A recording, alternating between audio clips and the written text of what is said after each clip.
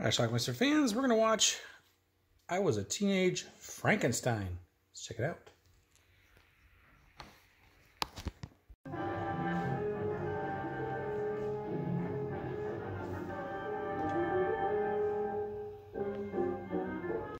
Meet Dr. Frankenstein. So also can we successfully transplant other organs and members of the body, attaching and grafting them where needed, even in cases where important arteries and nerve centers have been severed. Any student of gross anatomy would refute you. And I still say that dead tissue cannot be reactivated. my own son, a high school sophomore, wouldn't swallow your theory. Take one person's hand and another's leg. Yes, why not? Simply an intelligent adaptation of the principle of selective breeding. After all, if you breed morons, you beget morons. But when brilliant people mate, there are still risks. What is my heritage? So he's got a plan. But where Baron Frankenstein created a monster, I shall bring forth a perfectly normal human being, able to walk among normal people undetected. I'll point the way to perfection. So later on, there's a fire, and a young man, about 18 or so, is killed. His body's intact, but his face is completely burned off. Penetration of at least two inches. Frankenstein stole the body, by the way. Do as I say, and you will share in the greatest experiment science has ever made. When my experiment this is his girl, Margaret. We could go back together, if you'll have me. Now they tell me the Queen Mary's an ideal setting for a honeymoon. So the operation begins, and he's apparently chopping off some limbs, and he's going to add other limbs instead. There's a leg. He has an alligator, and he drops the used body parts down to it. Believe me, I'll see to it that the replacements are an improvement over the originals. So he's added replacement limbs to the limbs that he removed, the ones that were burned. And now he's jolting them. Didn't find a new head or face yet, though.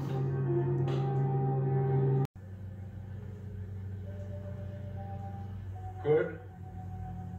Morning. Well, my boy, you'll be chattering like a magpie.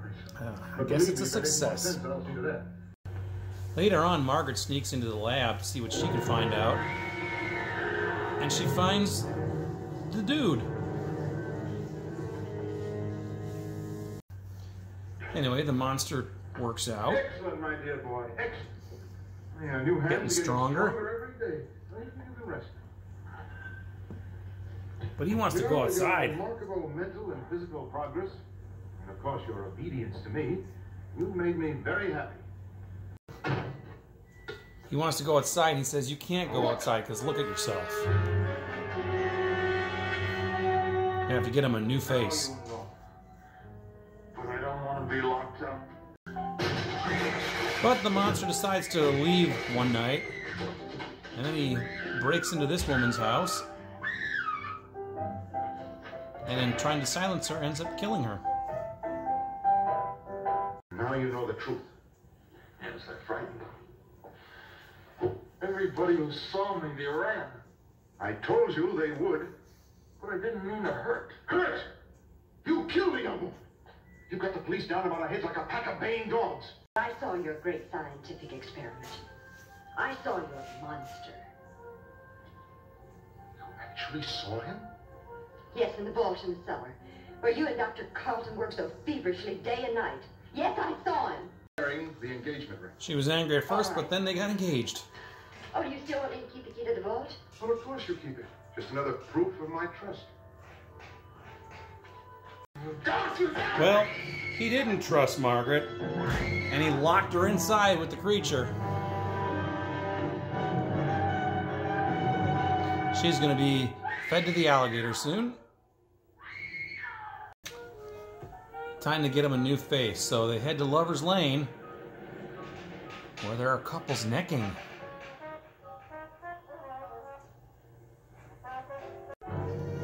Sends the creature to sneak up and kill the boy.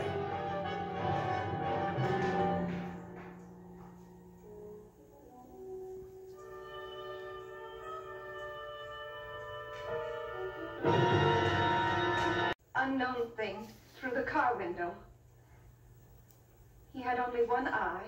It's the girl's mother. Not much face. And he just looked at Bob.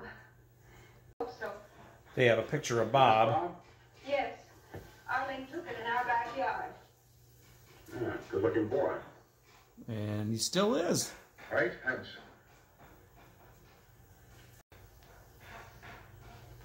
Amazing.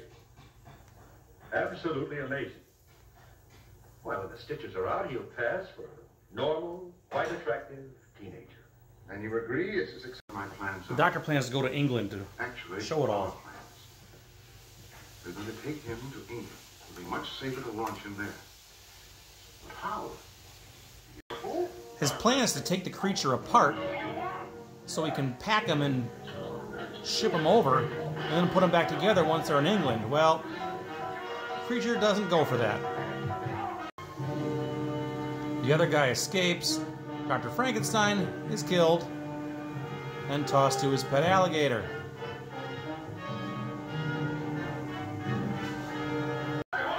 The other guy brings the cops, and then this happens. Oh, look, turn color. Our creature fries.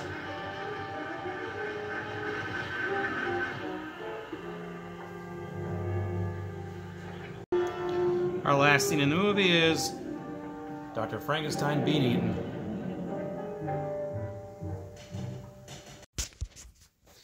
All right, let's talk about I Was a Teenage Frankenstein. Um, I'd seen this movie once before. It was kind of a follow up to uh, I Was a Teenage Werewolf, made by the same people. And I'll be honest with you, I thought I wasn't. I thought this was going to be kind of a shit film, but I kind of enjoyed it. I follow. It was easy to follow. A very short film, only seventy three minutes long, and it, it was uh, pretty decent um, for an old style monster movie. So anyway, what we have here is uh, the descendant of Dr. Frankenstein from the original Frankenstein, apparently grandson, I think it is, and he's kind of continuing his his grandfather's experiments, and uh, he wants to bring a body back to life, as all Frankenstein's do, and. Um, he says, you know, unlike my father or grandfather, I'm going to make this like a, a normal, regular human being. No one's going to know, blah, blah, blah. So, anyway, he uh, gets the body of this teenager who died in a car crash, a fiery car crash. The body was burned uh, in a lot of places. The face was completely uh, burned beyond recognition.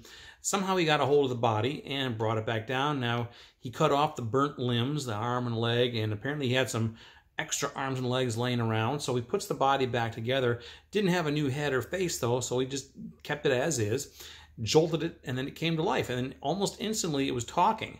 Uh, and then pretty soon, you know, he's walking around, he's talking like normal, he's educated, he's working out, lifting barbells. Um, but he's, his face is wrapped up in gauze and stuff because we know he's hideous looking. Um, and, and Frankenstein's thinking this is a great success. We're going to make a lot of money uh, a lot of fame, that sort of thing. And the creature's like, I want to go outside and stuff.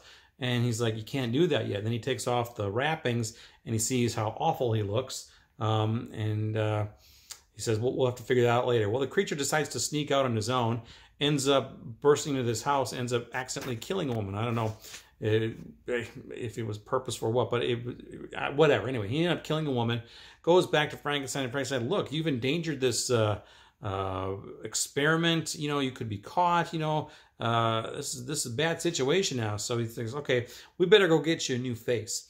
So they go out, and uh, actually before that, actually.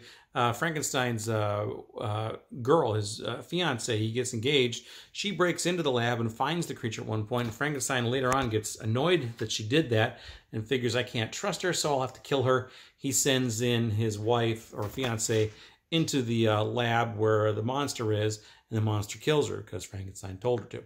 Then he feeds her to his alligator. That's what he does with his extra body parts, too. So, anyway, they go out to Lover's Lane to try to find a good head or face for him.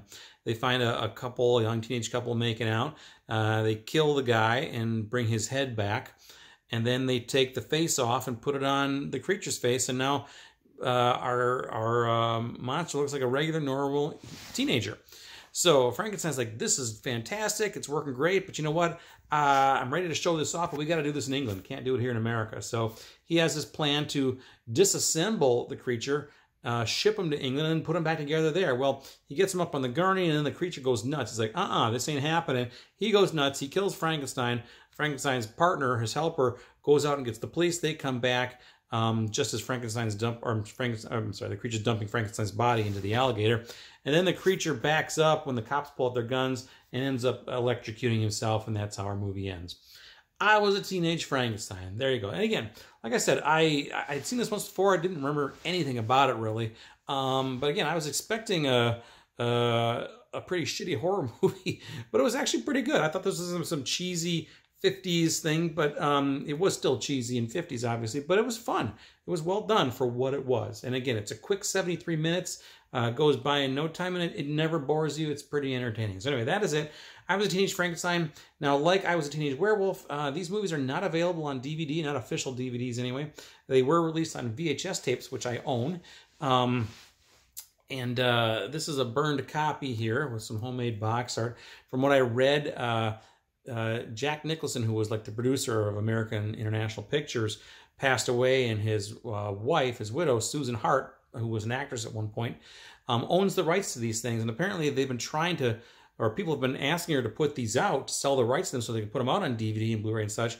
And she apparently wants to do that, but her asking price is apparently off the wall crazy, and no one's willing to pay it. So, these two films, as well as uh, about a dozen others, sit in limbo um, because she won't sell the rights for anything less than what she feels they're worth.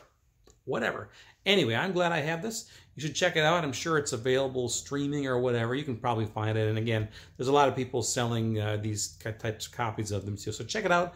Leave some comments. Let me know what you think about. I was a teenage Frankenstein. Watch it. Bye.